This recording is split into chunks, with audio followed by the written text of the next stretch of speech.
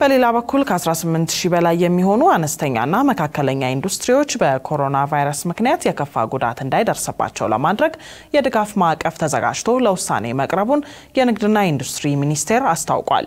ይህን የተመለከተውን ጥንቅር ደግሞ ፍስሐ ደሳሌ ነው ያዘጋጀው። ኤደኑ ታላት አቀርበዋለች።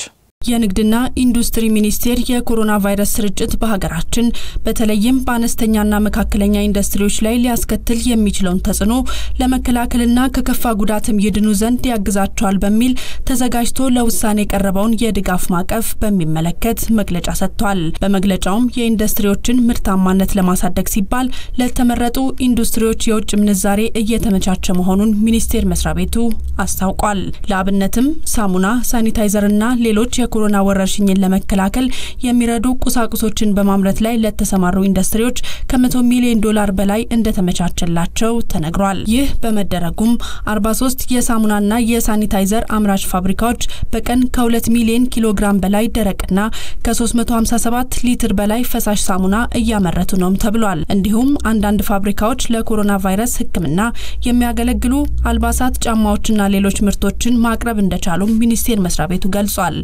በሀገሪቱ ውስጥ የሚገኙ ወደ 43 የሚደርሱ የሳሙናና detergent አምራች ኢንዱስትሪዎች በተሻለ አቅም እንዲያመርቱ በማድረግ ለበሽታው መከላከያ ሊያግዙ የሚችሉ በየቀኑ 2 ሚሊዮን 258 ሺህ 200 ኪሎ ግራም ሳሙና እና 357951 ሊትር ፈሳሽ ሳሙና በየቀኑ እየተመረተ ገበያ ላይ እንዲቀርብ እየተደረገ ነው።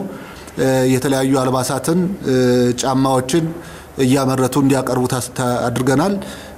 ይሄም በዋናነት በማንኛውንም መደበኛ ጫማ አድርጎ ሕክምና ለማድረግ ስለሚያስቸግር ለሕክምና መስጫ የሚያስፈልጉ ቁሳቁሶቹን በዚህ መንገድ በማምረት በአንድ በኩል ገበያ በመፍጠር በሌላ በኩል ደግሞ ያሉትን ችግሮች ለመፍታት ድጋፍ እንዲያደርጉ ለማድረግ የተደረገ ጥረት ነው።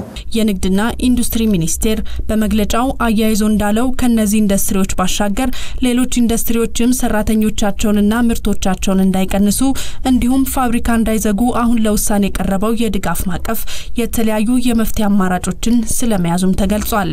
በሌላ በኩል በሀገሪቱ የኮሮና ቫይረስ መከሰትን ተከትሎ የንግድ እንቅስቃሴን አስተጓጉለዋል በተባሉ ከ25 ሺህ በላይ የንግድ ተቋማት ላይ ከማስጠንቀቂያ እስከ ማሸግ እንዲሁም ከማገድ እስከ መክሰስ የደረሱ እርምጃዎችን መውሰዱንም ሚኒስቴር መስሪያ ቤቱ በመግለጫ አካቷል። እርምጃ ከተወሰደባቸው ተቋማት መካከል ከ13 ሺህ በላዮቹ ሲታሸጉ 404 የንግድ ተቋማትን ደግሞ ፈቃዳቸውን ማገዱን እንዲሁም የ890 ተቋማትን የንግድ ፈቃድ መሰረዙንም ጨምሮ አስታውቋል።